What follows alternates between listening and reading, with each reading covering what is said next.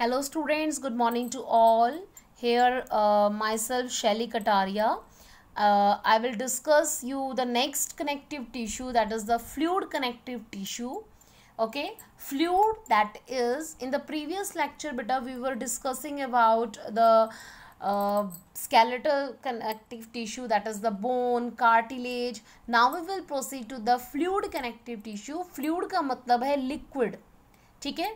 If the connective tissue is in the form of liquid, then it will be fluid connective tissue, okay?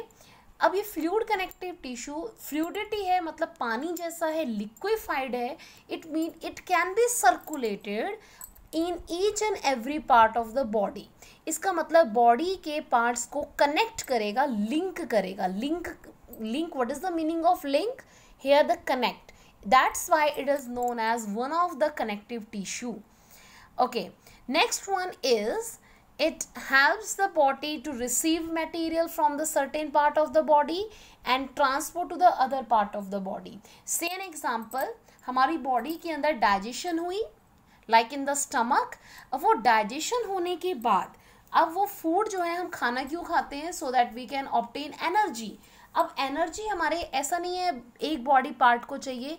Each and every part of the body requires energy तो energy के लिए there will be circulation of blood there will be circulation और उस circulation होने की वजह से blood is also a type of connective tissue so fluid connective tissue के दो कंपोनेंट्स हैं।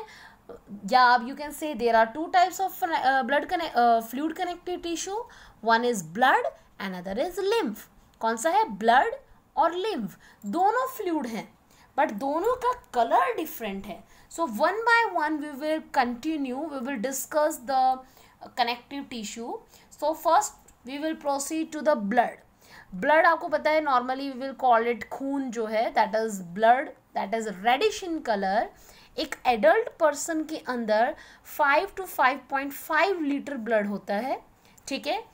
ब्लड का पीएच, उसका nature it is slightly alkaline alkaline अगर ना बोलकर आप बोलो स्लाइटली बेसिक नेचर होते हैं एसिडिक बेसिक और न्यूट्रल तो इसका जो नेचर है इट इज़ एल्कलाइन और slightly basic okay what watery watery substance in its composition.